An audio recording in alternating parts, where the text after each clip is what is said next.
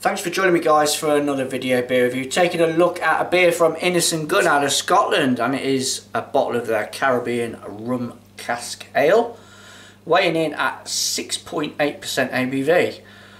None the wiser if it's newer or not but I know it's one I haven't seen before so uh, this beer is Caribbean Rum Cask matured to unlock natural hints of vanilla, fruit and spice aged for 51 days. Blah, blah, blah, Spiel there on the back, I ain't going to read that. There it is, if you need to. 330ml bowl.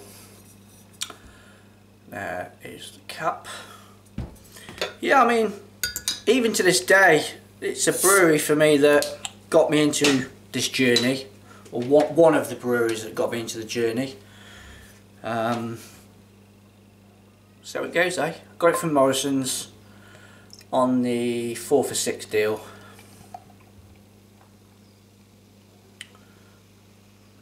Been a very very long while since I've had one of these um, infusion beers from, from, from them. I know I did a lager a couple of months back but as for the this sort of series of beers, it's been a very very long while.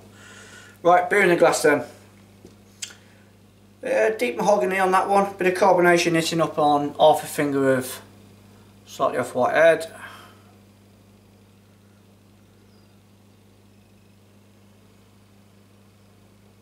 You get a little bit of rum and get a little bit of vanilla. There's a bit of booze in there as well. Or maybe that's just the, the rum side of things. I mean, six point, what was it, six eight? Yeah, it don't smell too bad. It's, I'm getting the rum. So that's a good start, isn't it? Let's dive in on the taste. Cheers.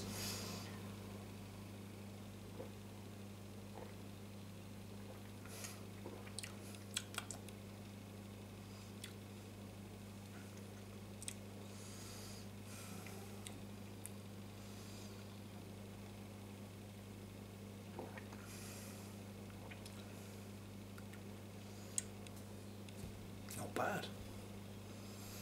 Not bad at all. Yeah, a big a big rum presence in there.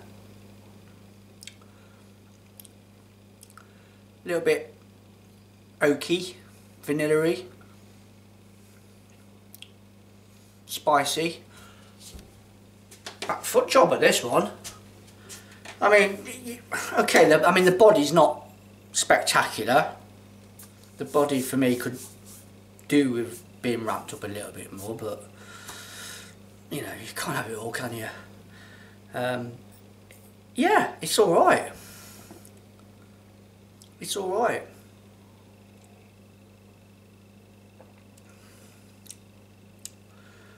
well them flavours sort of like marry together quite nicely on the palate.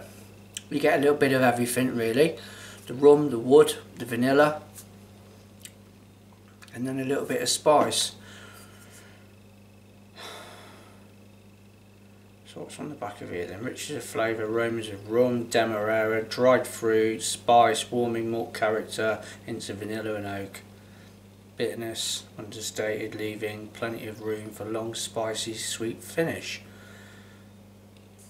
Best served with chutney. It's alright, yeah, I'm not going to knock that. It's um, it's a pretty good beer actually. It's a pretty as supermarket beers go. These guys have been at it for a very very long time. Um, some of their beers, it's one of them sort of things with me with, with some of their beers. But it's nice to to revisit this brewery and be pleasantly surprised from it because I don't think that's a bad beer to be fair.